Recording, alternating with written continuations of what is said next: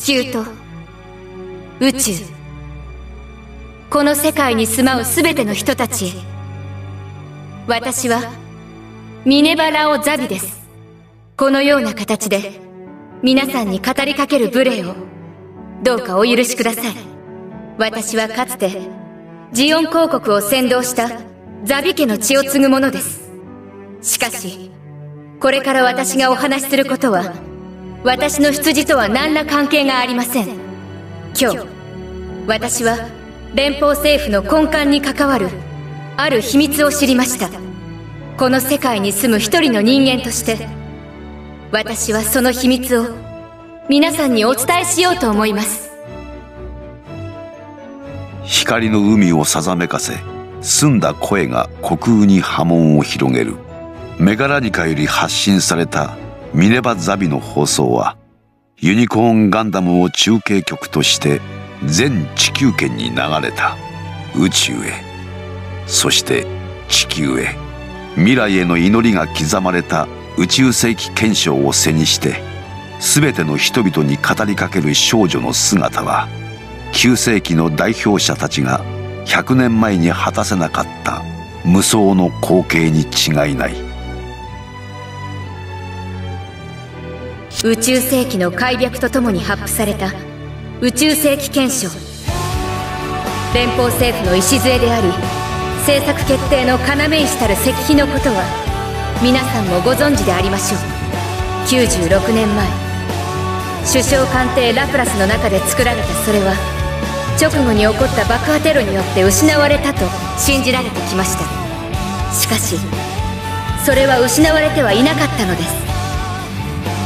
レプリカの石碑がダカールの議事堂に飾られる一方でオリジナルの石碑は長い間隠されてきました。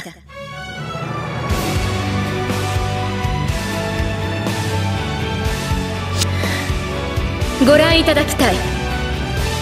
今私の後ろに映し出されているのがラプラスで作られた本物の宇宙世紀憲章なのです。お分かりのことと思います。本物の宇宙世紀憲章には私たちが知らない一章が付け加えられていました。将来宇宙に適応した新人類の発生が認められた場合その者たちを優先的に政府運営に参画させることとする。未来と題されたチャプターにはそのような条文が記されていたのです。無論これはニュータイプを指していったことではありません。宇宙に進出した人類は、その認識力を拡大させ、誤解なく他者と分かり合えるようになる。ジオン大君がニュータイプ論を提唱するのは、この検証が作られてから40年以上も経ってのことです。ラプラス事件と共に葬られたこの一節は、遠い未来に手向けられた祈りでしかなかったはずなのです。言葉は言葉である。受け止める心がなければただの音の連なりでしかない。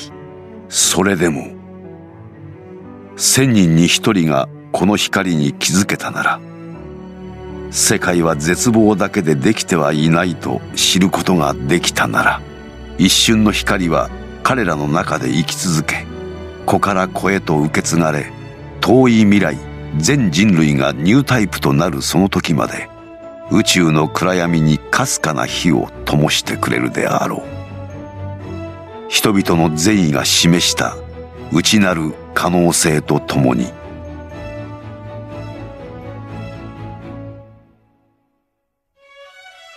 かつてリカルド・マーセナスは言いました。他人の筋書きに惑わされることなく内なる神の目でこれから始まる未来を見据えよと。あれから100年近い時を経て私たちは再びスタート地点に立っています。私の言葉は私のものでしかありません。この放送をお聞きの皆さんどうかご自分の目で真実を見極めてください。そして100年前の人たちもそうしたように善意を持って次の100年に思いを馳せていただきたいのです。私たちの中に眠る可能性という。名の神を信じて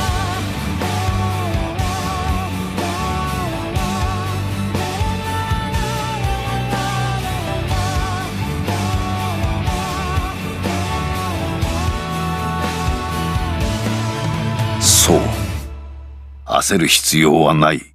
コロニーの群れが銀河の外に込み出すだけでもあと千年や二千年の時間はかかるのだから。今はまだ可能性があればそれでよい。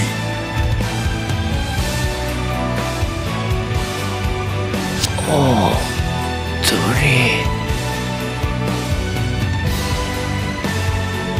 リ宇宙世紀0096 5月4日。今宇宙世紀百年の呪いは祈りとなってこの世界に住むすべての人々に可能性の灯火を残していた。